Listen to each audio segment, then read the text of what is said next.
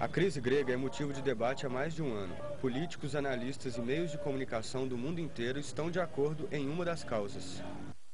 El caso de Grecia pone de manifiesto qué pasa cuando un país vive muy por encima de sus posibilidades.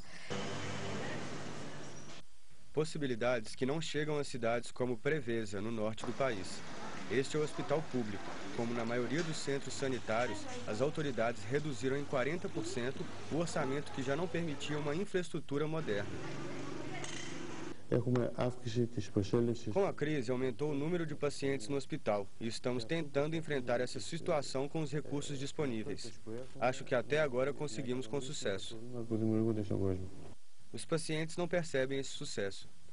Um estudo recente da revista The Lancet revela a falta de pessoal, de produtos médicos e inclusive denuncia subornos para contornar a lista de espera. Bem na época em que precisaríamos dos melhores serviços sanitários, devido aos resultados da crise, todos os serviços estão sendo desvalorizados, levando a situações graves no atendimento médico, principalmente para os trabalhadores mais pobres.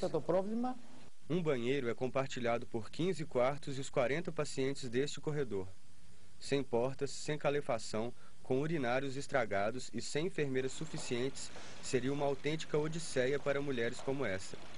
Com problemas no quadril e diabetes. Mas o motivo dela não poder ir ao hospital é muito mais simples. Não tem dinheiro suficiente.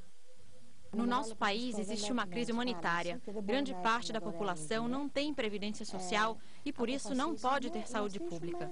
Por isso decidimos criar este centro social baseado na participação voluntária, não só dos profissionais da saúde, mas também de diversos cidadãos. Ajuda as pessoas na vida cotidiana, formando um escudo de proteção para que possam resolver seus problemas de saúde, para que mantenham a dignidade e para que entendam que não estão sozinhos na sua luta pela sobrevivência.